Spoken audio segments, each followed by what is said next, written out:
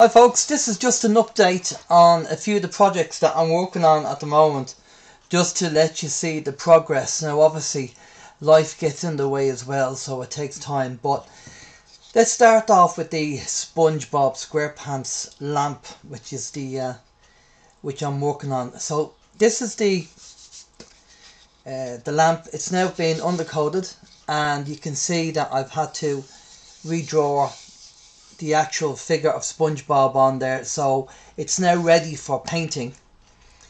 Um, so that's been sanded down and, and cleaned and everything else so we're ready to go with that. Plus as I said on the last video that the hole has been done. And if we take this off here because I have to wrap that up these are fittings that you can buy on um, I got these from Amazon and they're called they're called brass wood nipples. And you get one of these light fittings and they fit in there like that. So and then you run the cable up through the actual the power cable up through that fitting into that rose. And that's uh, and then you get a lampshade and stuff like that. So that's how that works.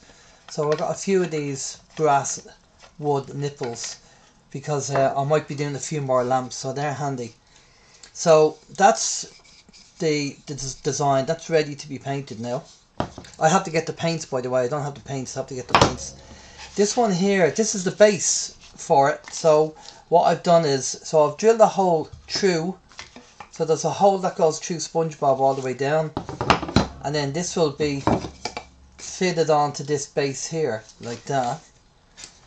And there's a hole here, and there's the cable run through.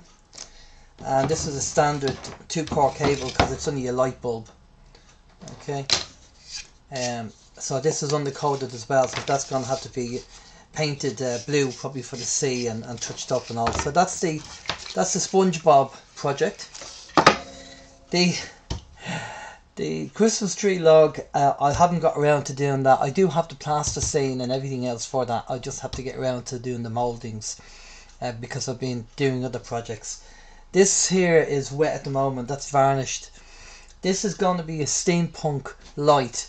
Just a light. Now I might put a stopcock on it like I did with the last one to be able to switch it on and off. But that's the base for it there and I'll just have the fittings coming up um, the fittings coming up the stem there coming up and it'll be wired in I'll get the cable and it's only a light it's for a neighbour.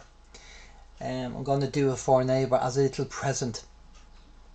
And the last thing that I got tied up doing would you believe is a little uh, bird box.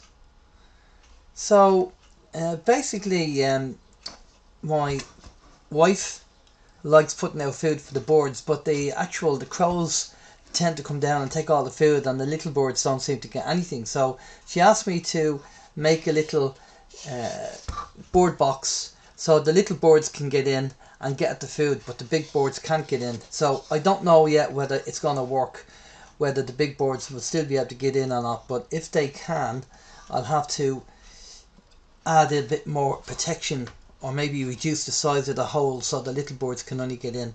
So this was made out of scrap wood, um, nothing special. Alright, just a standard doweling. And uh, even on that side, I have, I, you see, I have the doweling on that side, so the boards can land either side. Um, so that's a, just a little scrap wood bird box um, that I'll be putting up there. So there you go. So they're the projects, and uh, just uh, I'll give you an update when a few more bits and pieces I've done. It takes time, life gets in the way, as I say. So once they're done, and the, I'm waiting on parts to come in as well. So once the parts come in and, and stuff like that, I'll do another video and give you an update. But there you go. So we have the SpongeBob lamp, Christmas log, which I haven't really done anything with. This is going to be a steampunk lamp and then the bird box. So there you go. Catch you later.